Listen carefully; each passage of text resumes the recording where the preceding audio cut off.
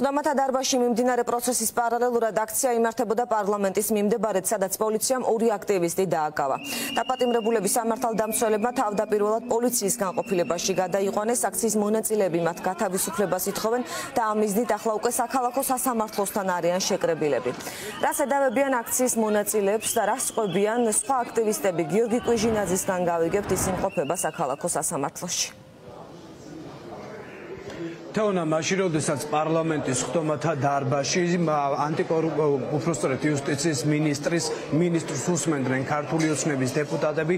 პარლამენტის გარეთ ანტიკორუფციული მოძრაობის საპროტესტო აქცია მიმდინარეობდა. სრულად მშვიდობიანი საპროტესტო აქცია იმართებოდა და სწორედ აქციის მონაწილეები რატი ბრეგაძის მიერ გაკეთებულ განცხადებებს და ქმედებებს აპროტესტებდნენ. ამ დროს კი სამართალდამცველებმა აქციის ორი მონაწილე დააკავეს. ეს არის დავით იღმილაშვილი და ლუკა კორკოტაშვილი მათ ადმინისტრაციულ სამართალდარღვევათა კოდექსით ედავებიან. ჯერჯერობით უცნობია მოიყვანეს თუ არა დაკავებულები უკვე სასამართლოში ან ზოგადად როდის ჩაინიშნება და გამართება მათი სასამართლო პროცესი. აქ სასამართლოში იმყოფებიან ანტიკორუფციული მოძრაობის წარმომადგენლები მათ შორის იმყოფება ნაციონალური მოძრაობის დეპუტატი ლევან ხაბეიშვილი და ამ პარტიის თავმჯდომარეობის კანდიდატი. ლევან ხაბეიშვილის განცხადებით ბიძინა ივანიშვილი და ქართული ოცნება ცდილობს რომ ქვეყანაში დაამკვიდროს რუსული რეჟიმი და ცდილობენ ახლა სამოქალაქო აქტივისტების გაჩუმებას და შეშინებას სწორედ ძალადობრივი ქმედებებით და მათი დაკავებით. სხვა პირები რომლებიც ახლა აქ სასამართლოში იმყოფებიან, იგივე განცხადებებს აკეთებენ და ისინიც ფიქრობენ რომ ხელისუფლებას სურს აქციის მონაწილეების დაკავებით რომ ჩაახშოს პროტესტის კერა. ახაც ჩვენ ზუსტად ვიცით რომ პოლიტიკურ გადაწყვეტილებას მიიღებს მოსამართლე იმიტომ რომ არანაირი მტკიცებულება არ არსებობს.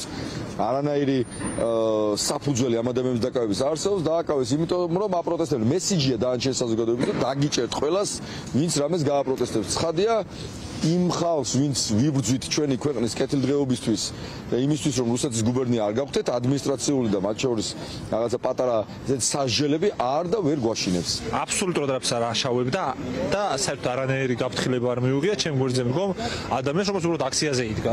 მიუვიდნენ და ჩატეს მაგაში ამის ამსახოლ ვიდეო კადრების არსებობს და შეუძლებელია ბუნებრივად ფიზიკურად არ არსებობს რაიმე სახის მტკიცებულება, რაც შეიძლება წარადგინონ პოლიციელებმა თუ რატო დააკავეს ორი აქციის მონაწილე. უბრალოდ აღარესია მონად ჩვენი აქცია შევაწუხეთ ეთყობა და ამის გამო დაგვსაჯეს ორი კაცი მოგვტაცეს აქციიდან. თუმცა ეს კიდევ ერთხელ მომერბეს არის უკვე ამ რეჟიმის არსი, რომ რუსულ სტილში იმოქმედოს ამ მიმართულებითაც აქციების აქციების აქტივისტების დაკავებას გულისხმობ.